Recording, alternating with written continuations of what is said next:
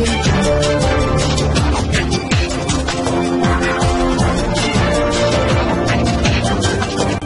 भारत केवल खबरें और कुछ नहीं। नमस्कार मैं हूँ अंजलि। आरपी भारत में आपका स्वागत करती हूँ। तो चलिए शुरुआत करते हैं आज की किसी खास खबर से। कोरोना संदिग्ध मरीज़ मिलने के बाद ग्रामीण एसपी ने किया क्षेत्र का दौरा। तीन किलोमीटर तक एरिया हुआ सील। कोरोना वायरस के संदिग्ध पाए जाने के बाद कुमार धुबी के पूरे इलाके में हड़कंप मच गया।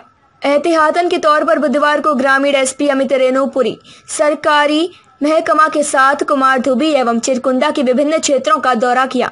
दौरे के दौरान सभी ओपी एवं थाना प्रभारी मौके पर उपस्थित थे।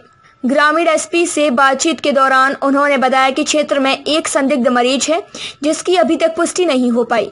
जिसके कारण क्षेत्र में एहतियातन बढ़ती जा रही है, जिसके मद्देनजर रखते हुए इस महामारी, छुआछूत बीमारी को दूर रखने के लिए क्षेत्र के हर संदिग्ध व्यक्ति पर नज़र रखी जा रही है।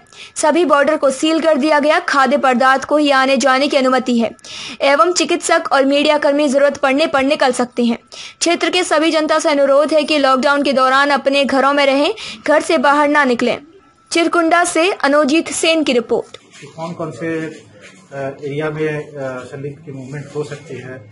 इन, इनका कांटेक्ट किन किन से हुआ है? और कौन सा एरिया ऐसा है जिसको ज़रूरत पड़े एक बार अगर पॉजिटिव कंफर्म हो जाता है तो कौन सा एरिया है जिसको पूरी तरीके से सील करने का जो एक निर्णय लिया गया है वो कितने एरिया को सील करना पड़ेगा? इन सब चीज़ों को लेकर जायजा लिया गया है। कुछ जगहों को आइडेंटिफाई किया गया है जहाँ पे फोर्सेस की तैनाती रहेगी।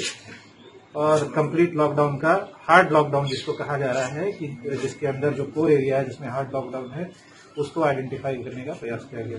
कितने का क्या रहेगा सर इसका? कितने किलोमीटर अगर रेंज की बात करें सर का ये देखिए कांटेक्ट के बेसिस पे है जो गाइडलाइंस है उसके हिसाब से हम लोग चलेंगे। कोर और एक बफर जोन की बात की गई है गाइडलाइंस में उसके हिसाब से चलेंगे। ये एक्चुअली अभी डिपेंड करता है कि जो कांटेक्ट उसका किससे किससे हुआ है।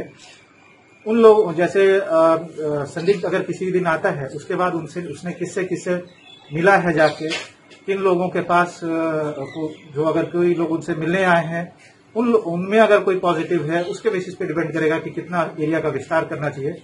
अभी फ़िलहाल जो हम लोगों ने एरिया का जायजा लिया है, जो जिस मोहल्ले में वो रह रहा है, उसको सील करने की बात करेगी सर, आपका स्वागत है। मैं आई हूँ कुंवर जो ज़मीन मिले हैं जिससे अभी कोई जाँच रिपोर्ट नहीं मिला जो मरीज़ कोरोना पीड़ित है उसी को आज उसी को लेकर आज बॉर्डर सील कर दिया। आप देख सक रहे हैं को जो बाज़ार है बाज़ार है, बाज़ार था इसको ये बाज़ार उठ के अभी संचालन करने में किया गया, मगर इसका आना जाना रास्ता यही था।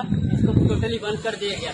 उधर भी टोटल कुमारी बाज़ार को भी बंद कर दिया गया है। आप देख सकते हैं, यहाँ के एसीपीओ यहाँ का वीडियो सब आए हुए हैं बॉर्डर सील करने के लिए, जिसको हमिंदा तक कुछ जाँच, जाँच रिपोर्ट आया नहीं। फिर भी इसका जो आया है उसी को लेकर पूरा तैनात हो गया कुमार टीवी कुमार टीवी से एक कुछ दिन पहले बढ़ाकर जो पार करके नवजपुर में एक घटना घटा है, जिसको लेकर पूरा तैनात हो गया था झारखंड। आज भी झारखंड में एक मरीज़ का ख्याल आया है, जो आप देख सकते हैं कुमारडूबी में हो गया। कुमारडूबी के जो मरीज़ है, उसको पाँचों को आज लेके गया है पीएमसीएच में आईक्यू भर्ती किया है, मगर इसका कोई रिपोर्ट अभी तक नहीं मिला है।